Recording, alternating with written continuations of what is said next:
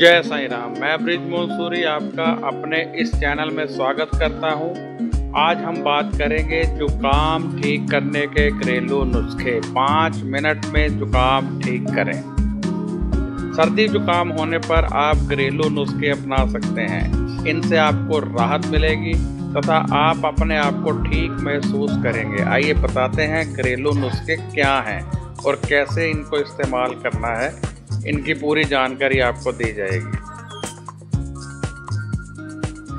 सर्दी जुकाम होने पर आप कच्चा जीरा दिन में तीन या चार बार एक चम्मच मुँह में डालकर अच्छी तरह से चबाते हुए खाएँ। इससे आपके जुकाम में आपको राहत मिलेगी तथा आप महसूस करेंगे कि सर्दी दूर हो रही है। जीरे को लीजिए, मुँह में डालिए, चबाते जाइए धीरे धीरे चबाते जाइए, इसका रस चूसते जाइए, आपको सर्दी में राहत मिलेगी, इससे पेट के रोग भी ठीक होंगे।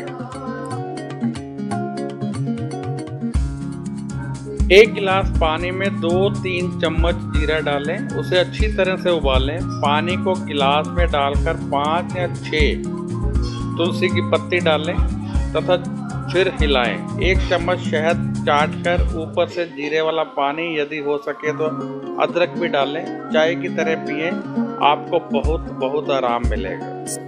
गरम गरम की पिए। सुहागा लें, सुहागे को गरम तवे पर डालें।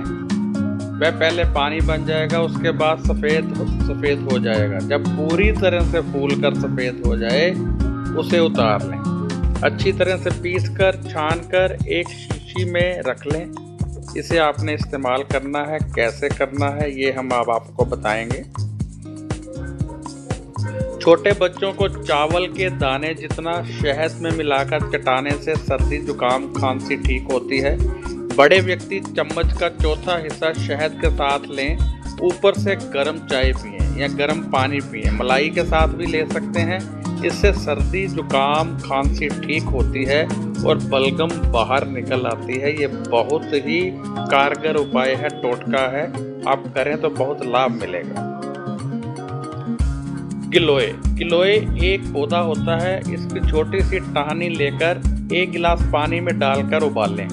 जब चौथा हिस्सा पानी रह जाए, उसका सेवन करें। बाज़ार में गिलोय की गोलियाँ भी मिलती हैं। पीतांजलि द्वारा भी तैयार की जाती हैं, रामदेव द्वारा। यदि आप गिलोय लेते रहें तो दुकान क्या आप अन्य रोगों से भी बचे रहेंगे? यानी जुकाम क्या आप अन्य रोगों से भी बचे रहेंगे? इसे आप दिन में दो बार ले सकते हैं। इसका कोई साइड इफ़ेक्ट नहीं है, किसी तरह की परेशानी नहीं है, चाहे कोई ठीक है, बीमार है, कोई भी ले सकता है। एक गिलास दूध में तीन चम्मच बेसन और एक चम्मच घी डालें।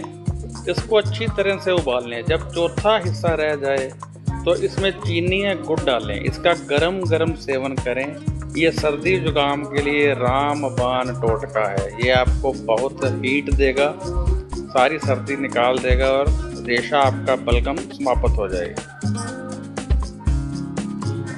सिर्फ़ सूखी खांसी है तो। ये जो मैं उपाय बता रहा हूँ, सिर्फ़ सूखी खांसी के लिए करना है। यदि आपको सूखी खांसी है और बलगम बाहर नहीं आ रही है तो रात को सोते समय दो तीन चम्मच या दो तीन या चार चम्मच ले लें। देसी घी गर्म दूध के साथ लें, दो तीन काली सूखी मिर्च भी ले लें तो ज़्यादा लाभ होगा। इसके बाद कम से कम दो घंटे पानी ना पिए।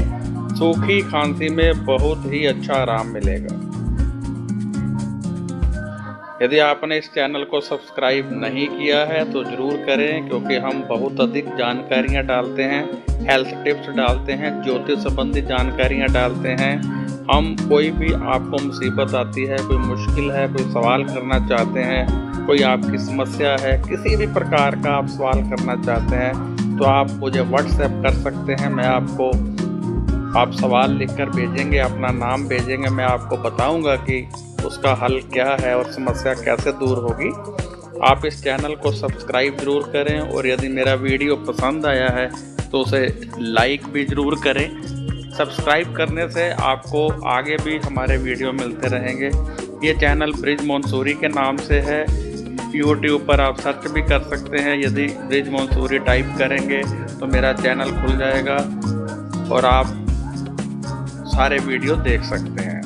साई राम खुश रहिए। जय।